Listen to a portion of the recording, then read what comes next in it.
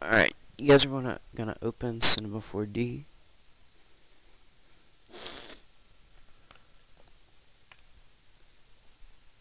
Alright, when it's open, you wanna go here to your render settings, go to output, change the resolution to 1280 by 720 high definition TV. And go to save, change the format to AVI movie, go to options, and change the compressor to the Intel IYUV codec. And change the path to wherever you want to save it, and whatever you want to name it as. I'm going to save mine to the desktop and name it tutorial. And just close out of that. First thing you want to do is make a plane, that way you have like a base to start making it off of.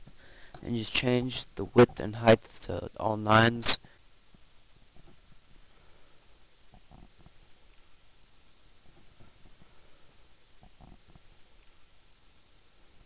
Then you want to go here and text and just name it whatever. And uh, like when you when you're doing that to go to the text, you have to click on the thing and move it down, and then let go. Just change your font if you want.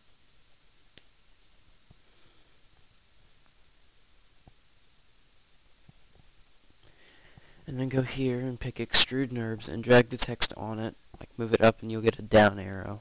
And then move it up on it. And then go to extrude NURBS, change it from 20 to 50. And it'll make, give it more depth. Just make it look better.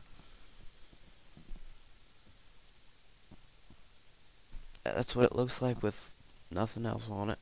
And then go to caps and change it to fillet cap or fillet cap, however you want to say it. I've heard it both ways. And render that out real quick, and it kind of like, it makes it where it's not like a 90 degree angle, it makes it where it's 45 on both sides. And then just double click down there, and you can mess with colors.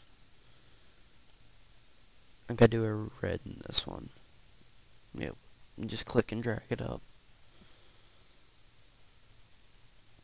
And just edit, copy, edit, paste, and delete the color off that top layer. And change it from the object from 50 to 20. And then turn your view so you can see it like that, and just move it back to about in the middle. And then go to caps and change the radius from 5 to 10. And just move your camera back. And then double click down here, go to matte, and just whatever you want it to be. Just make sure it's on color when you go to change it and not reflection like I did, because I have to go back and fix it.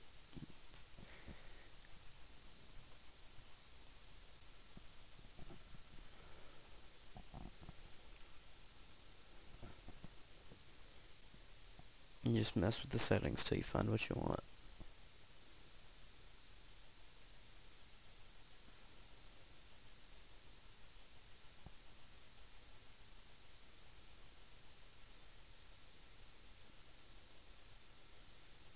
Doesn't look too bad. Just click and drag it on the layer, that way you don't put it over the red.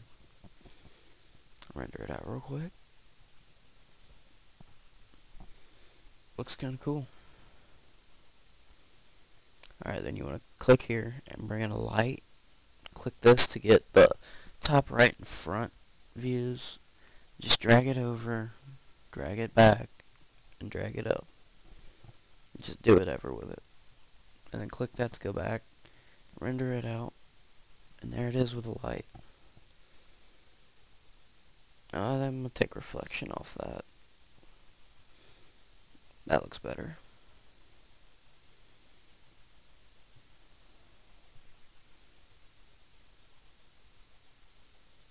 Alright, you want to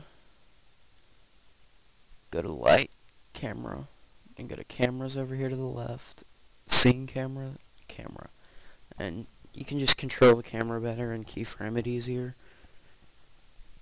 And then just go to wherever you want it to start. And then click this little red button right there to add a keyframe. And just skip ahead. I go 20 seconds. Just, I change my frames to 150 frames. Then I skip ahead 2 seconds. Because it's 30 frames a second. Just move it wherever and add a keyframe. I move up another two seconds. Just go ahead and move it. Keyframe it. And then I need to make my project bigger, so I'm going to change it from 150 to 180. I'm just going to move it to 180 now. Just move it wherever. And after you get done, if all your keyframes didn't fill out the total frames in the project, you need to change the total frames in the project to your very last keyframe. That way it'll have this. It'll come through all your keyframes and then start over again right after it's done. Because you go here and go to output and go to frames and do all frames. If you didn't want to do that, I guess you could just change it to manual and type in the frames. But you click that to render.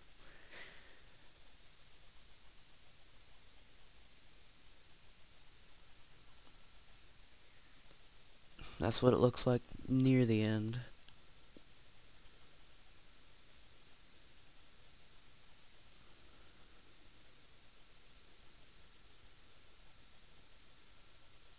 I think I'm going to pause it again.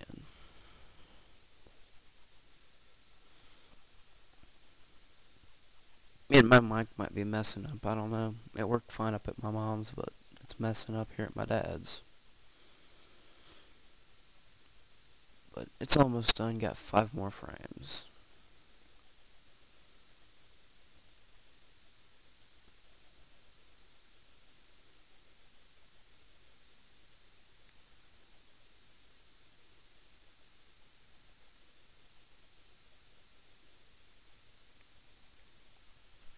last one, and it's done. Just close out of it, and close out of it. Nope. Alright, let's see how big of a file it is. It's like a 7 second video, and it's 238 meg. I don't know about you, but that's kind of high for me, so I render it out in Vegas again. So just open Vegas, delete that.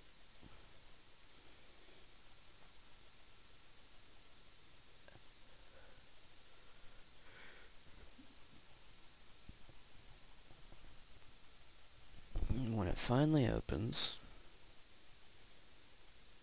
just make sure your project properties are on 1280 by 720 HD 30 frames a second. Just drag it in.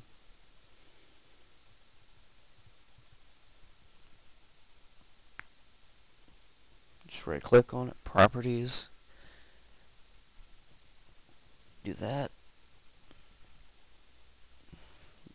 Go to effects. I add a sharpen, reset the none.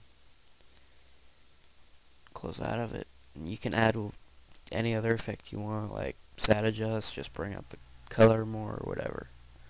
It's up to you. Then you want to go to File, Render As, just whatever settings you use. And save it. It should render out pretty fast. And it's done.